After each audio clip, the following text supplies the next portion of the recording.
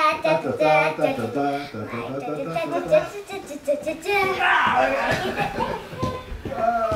wow, James is flying. Look at him go. That was very clever.